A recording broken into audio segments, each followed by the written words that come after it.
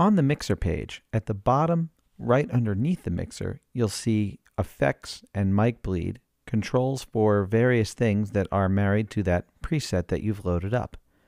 Right now, I've got a drum loop playing where I've taken the snare drum out so that we can see the effects of mic bleed. The kick drum is leaking into the snare drum mic. Even without a snare drum playing, we'll now see a little bit of activity in that snare drum microphone. Let's take a look.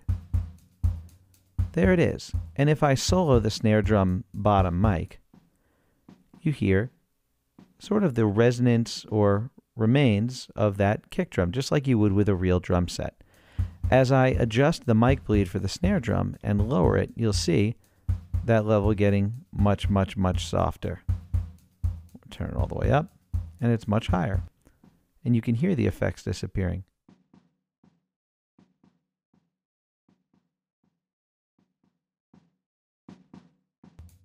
It kind of helps the overall ambience of the kit to have that mic bleed. It's a little bit more realistic as to what you would get with a really correctly mic'd drum kit if you were recording one.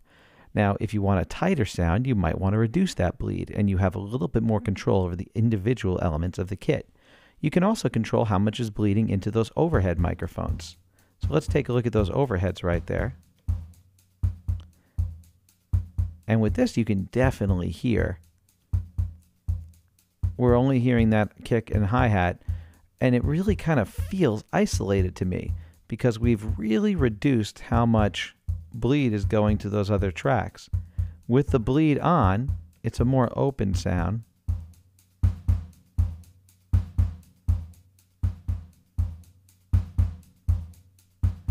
And you can hear it kind of open up. That's why it's good to know where that mic bleed adjustment is and what it does to your sound.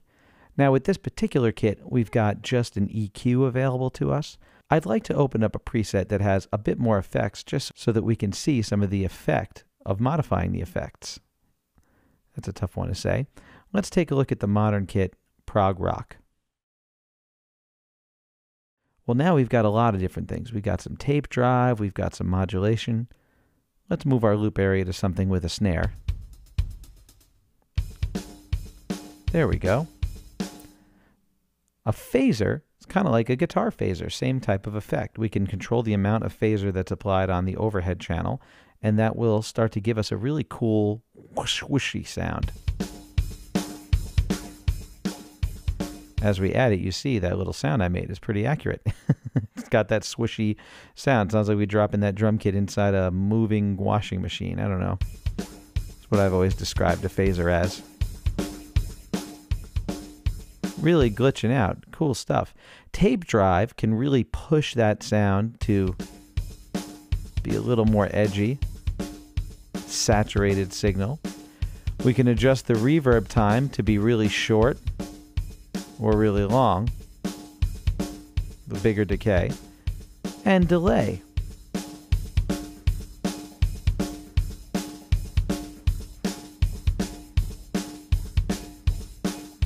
Well, now we're really glitched out.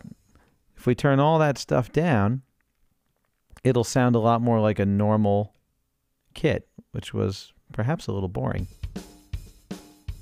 But start to crank it up, and you've got this driven, affected monster. And all of those adjustments get married to those presets. So you can save this as your own preset and you can explore by going through that preset menu and checking out what else they've got. There we go. Some drums, some sustain, all sorts of stuff.